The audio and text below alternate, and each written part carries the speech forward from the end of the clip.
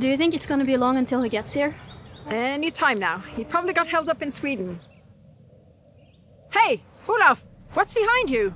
Oh, they're building the new battery innovation No, center. Olaf, we've been through this 365 times. I know what they're building, but Will does not have to know. Read the sign. Okay, sorry. Not sorry, right?